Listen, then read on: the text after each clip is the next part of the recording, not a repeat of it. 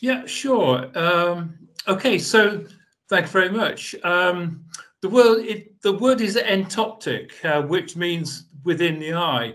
I suppose if I can be prophetic in a Blake conference, what I'm going to say is that these there's my paper is about the visions of William Blake, and I'm going to bet that nobody will talk about Blake's visions, what they were. Everybody will refer to him as visionary, uh, but they will not refer to his visions. It's become a kind of um, let's not talk about it. It's the elephant in the room. In fact, critically, we're almost at, at the position where you might say that the current critical consensus about Blake's visions is that Blake the liar.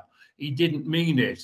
And so what I've done in the past few years, and this is part of a longer project, is to talk about um, the neuroscience and other types of things which are to do with uh, what I believe were his different types of hallucinations. That's not a pejorative term, it's the one that's used in the scientific community, as they call it. And if you want to look up on the right, there's a beautiful um, web page which kind of um, expands on my chapter. I don't know who did it. It's unauthorized. If you're out there, thank you. But you just Google in and it should come up. So if we can have the next slide, please. So these are some of the things that Blake says about his visions. Voices of celestial inhabitants are more distinctly heard and their forms more distinctly seen. Uh, you notice that they're visual and they're auditory. He hears things. And most of all in a descriptive catalogue. He says of one of the paintings, they are they're from wonderful original scene in my visions elsewhere. I heard and saw the visions of Albion. And of course, third parties, other people also picked up this, uh, particularly in his later life. Crabb Robinson speaking to him, he says, he reverted soon to his favourite expression, my visions. And um, Samuel Palmer, the painter, asked about it later on, says, On the whole, he thought that there seems real objects to his outward eyes. So they were really something very in, important uh, that he talked about. So if we go to the next slide, please. So these are the research topics I asked myself are the phenomenologies of Blake's visions recoverable? Can we find out what they are by kind of um, looking back in time and seeing what the things that he said? Uh, can they be determined? Can we find them in his art and his uh, uh, and in his his poetry as well? Well, some of my answers are, and you'll be pleased to know this. Blake was in good neurological health, I can report. Um, his visions are all recognizably hallucinatory conditions. Remember, that's not a pejorative term. It's just a, a, a term to describe what's going on within him. Uh, my thing about um, that, yeah, all of all of Blake's visions have neural correlates. So I have nothing to say about Blake's psychology or about Blake's mind. So this is the neural Blake. And the reason why we like Blake is that we are all neurologically identical. Um, it, um, your neuro and, and physiology is not um, marked by race, not by gender, as far as I know.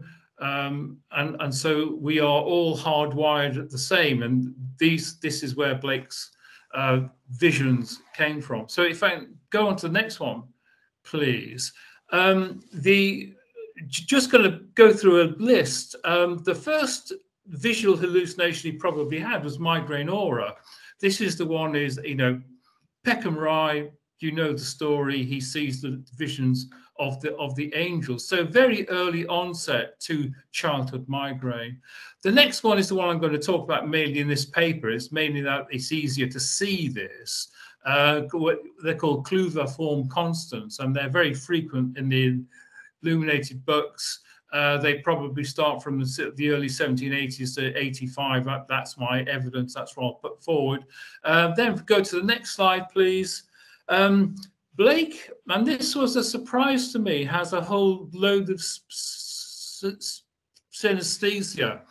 Now, I was not expecting to find this, and I came across it quite late.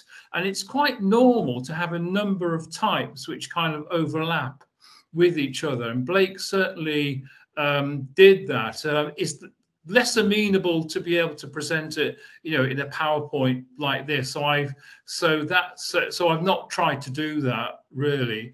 And um, the next slide, please. Um, he also had what is known as the felt presence verbal auditory visual post bereavement hallucination. That's the one we know about when his brother died. So again, that comes in that 1780s uh, period, very, very early. Um, he also had something which, to catch us all out, is not an, an hallucination. It's called Scheerer's phenomena, and it comes out in that poem, My First Vision of Light. And um, th these were real images that he saw because of the blood's, the blood capillaries, the blood cells in his eye. It's kind of a transient uh, thing, which is why he never makes that statement, those statements uh, again. And it's only very latterly that I came out with the idea that because there's a high coincidence of um, autism with synesthesia, that may, Blake, this is beyond my scope really. Uh, Blake may, may have been a high functional autism uh, candidate. He's just on, on, on the edges of that. And once you kind of know that, lots of things about his life kind of fall into place. But um, um, you know, I, I I'm not really not really an expert on on that. But um, okay, so we go to the next uh, slide. Uh, yeah, this is a piece of Blake um, science that we've forgotten in at, at, at the start of the century 1909, there's the first um, um, scientific claim, if you like, that Blake's visions were linked to migraine aura. Now, you won't find this article referred to anywhere, as far as I can tell. It's not in any of the, you know, the uh, um, bibliographies um, uh, of Blake. It's kind of fallen off the map there. And so what this person, um, Munro Smith, was talking about um, is is a kind of um, is the percepts that you see during migraine aura, and there's a drawing of that. There's a, there's a drawing of that which was included in in in his uh, short article. And if you go to the next one, please, and this is the sort of thing that he meant that he meant and refers to the ancient of days that what is known as a scintillating scotoma is one of the things that you see in Blake's um, uh, Ancient of Days image. Now, that comes from your primary visual cortex. That's where your migraine starts. And that was the claim that was made that long ago. And we have forgotten it. So, this may have been the sort of shape that Blake on the left hand side, obviously, there weren't any cars in Blake's day, but these are the sorts of shapes that um, he would have seen in front of, of, of his eyes.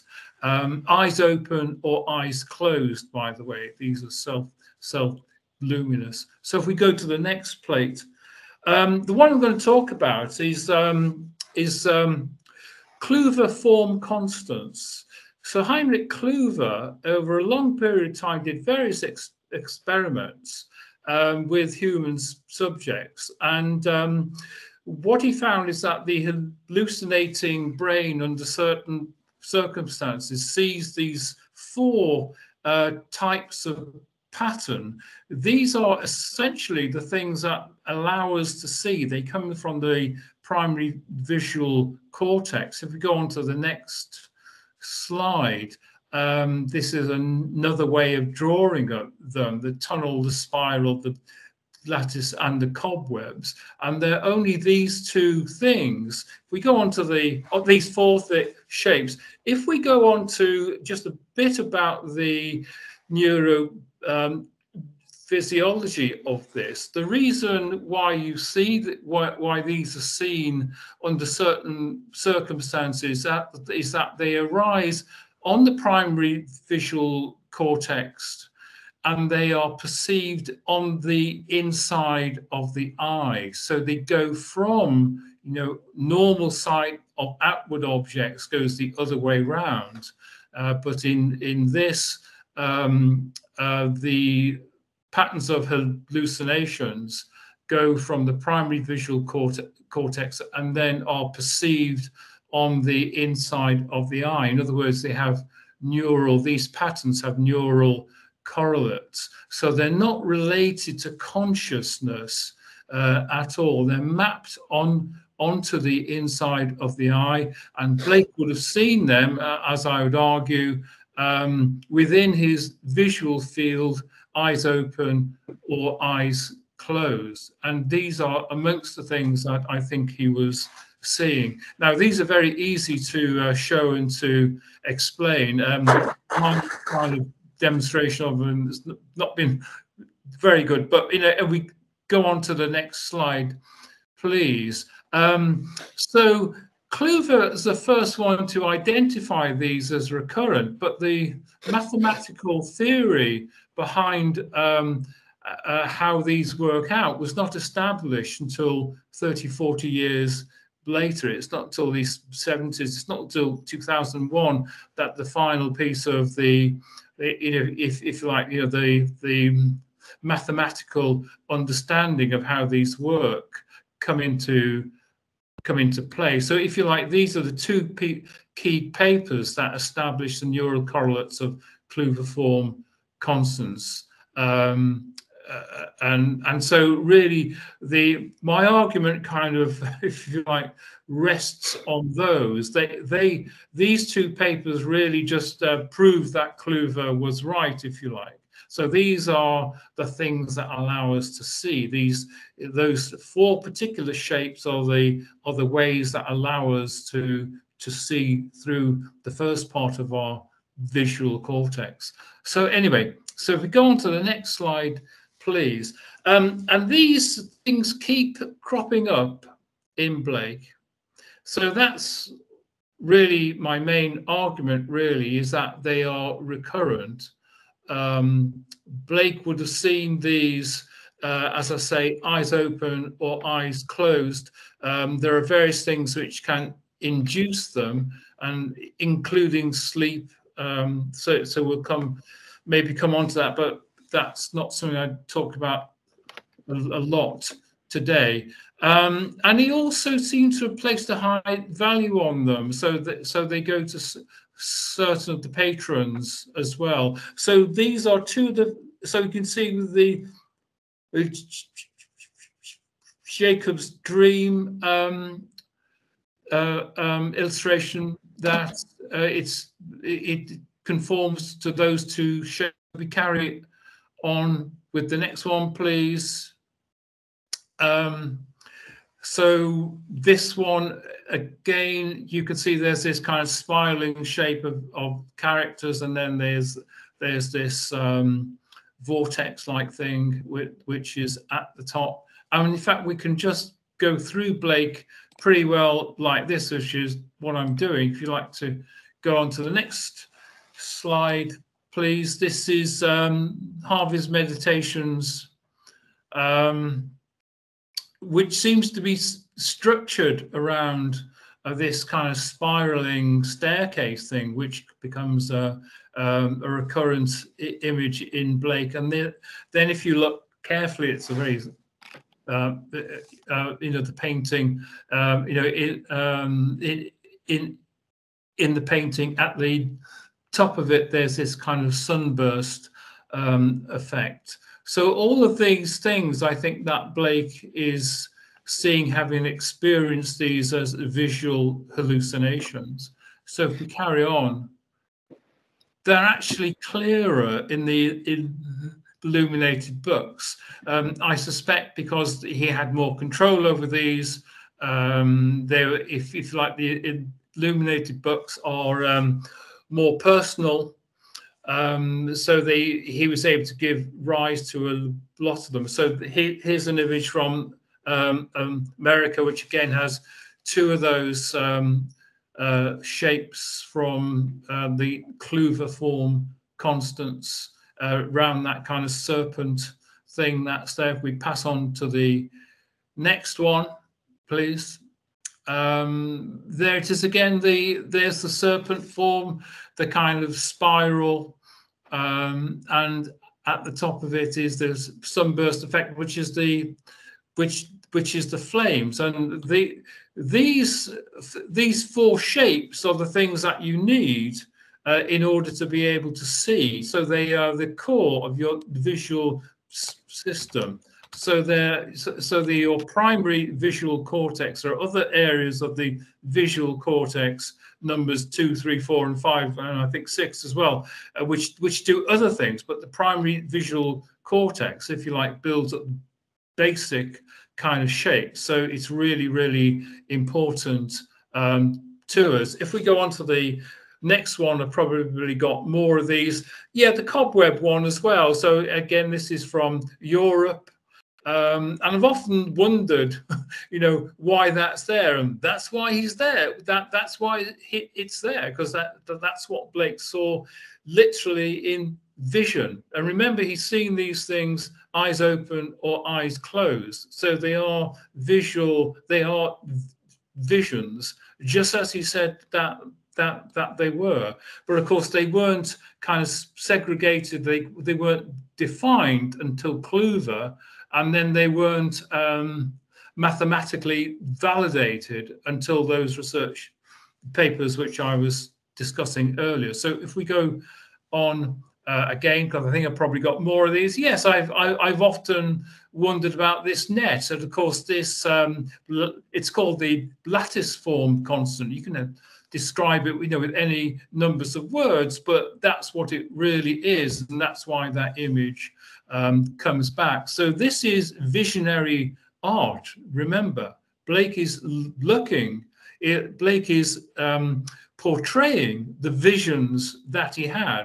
So these are not external objects. It's not exoptic visions. It, these are entoptic. They they are within with um, that they they are seen um, within his eye, projected from his primary visual cortex. So they are visions in the sense that we, we understand it. And I think I've probably got more of these. I forget how many I've got now. So if you carry on, Sibylla, please. Um, yes, now um, here's an interesting one Milton's Mysterious Dream, where uh, Blake seems to have identified three out of four of them. It's quite extraordinary. Um, if we carry on to the next one, um, there's the cobweb shape, which is a kind of a recurrent one that comes in Blake. And, and you see that it, it actually is a cobweb, which is why it doesn't look totally like a natural cobweb, um, cobweb, but kind of a drawing of it. So that's the cobwebs is, is one visual. Um, and then number, if we carry on, Sibylla, please, to the next one. And then there are two two of them here the lattices and the spiral the spiral one and the spiral one is easier to see because it's in that kind of scroll thing that that's there and then you have to look even more carefully um, at the edges um, uh, um, just above where I've got that lattice shape you can see that there is a net. Now luckily for me Blake did a, a description of this painting because he had to explain them to others. So if we go on to the next slide, please, there is Blake's own account of what is in the painting. I'm just going to blow that up on the next slide, please, Sibylla. And Milton sleeping on the bank, sleep descending with strange, mysterious dream upon his wings of scrolls, nets, and webs. Now, those are three out of the four um, primary um, um, form constants.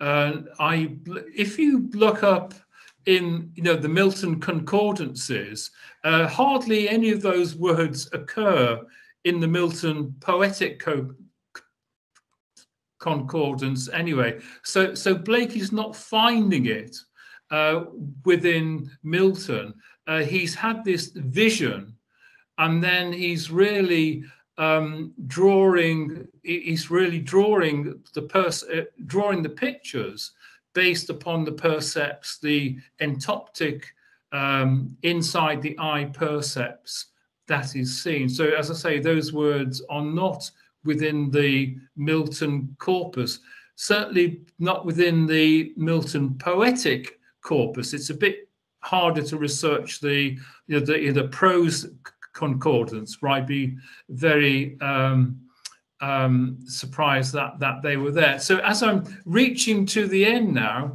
so why do we all like Blake? What is it that we like about Blake? Well, one of the reasons I I think is that um, as I was saying, hope I was saying at the beginning of the talk, your your neuro anatomy, your your neurophysiology is exactly the same as Blake's. Uh, it's not racialized. It's not marked by gender, as far as I know. Uh, you you have the same. You, you would see the same uh, things under the same circumstances that that Blake saw.